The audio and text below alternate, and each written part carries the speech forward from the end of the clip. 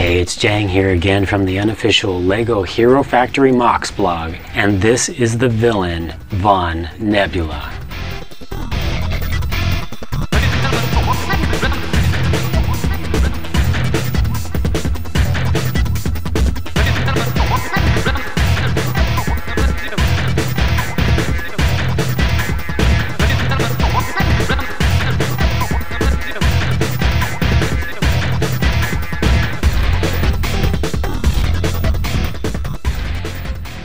Von Nebula is, of course, the ultimate villain, the leader of the officially released villains in the 2010 Series 1 release for LEGO Hero Factory. He is the largest single model that they have created in Series 1. He is the heaviest and also the most, ex uh, most expensive for a single figure.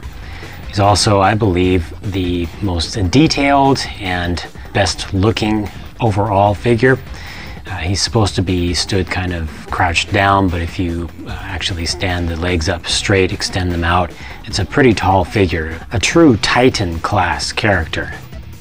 With all that size and weight comes the requirement for some high friction joints and Lego did deliver. They've got uh, three balls, three ball joints in action for the for the hip joints and then down here you've got a, a total of, of, just two ball joints uh, at the at the ankle and one at the knee but then you've got the hydraulic ram in the front to add even more friction. For the shoulder joints you've got three ball joints uh, used there plus one friction uh, axle pin used inboard and there's just a tremendous amount of flexibility here. They, they used exactly the right size or the right design of joint to be able to get to pretty much rotate that shoulder as if it was in a single ball socket with a lot of range of motion.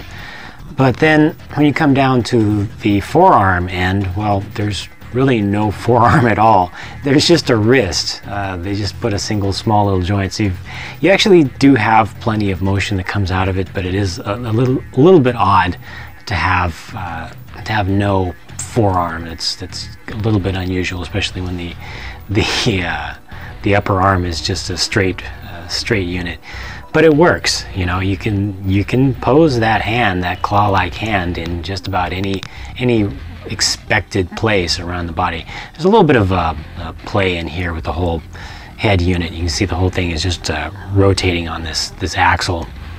It has a lot of uh, side to side movements. If, if anything, that's the one strike against it. Check out the body piece that they use. Down underneath there is a Makuta Icarax uh, body without the, the ribs or the center core piece.